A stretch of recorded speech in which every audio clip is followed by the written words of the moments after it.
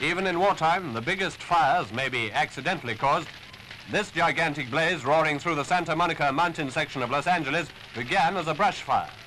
Soon it threatens the lives and property of a thousand families.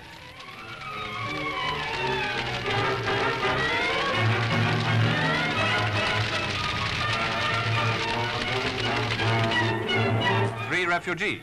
The one like an old-fashioned sergeant major got his moustache curled and singed as he escaped. Charred ruins of 30 homes worth half a million dollars mark the path of the big fire. Altogether, 25,000 acres of brush and timber were burnt out.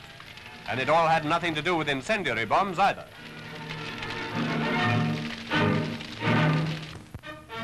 British sailors on leave in Virginia have been helping local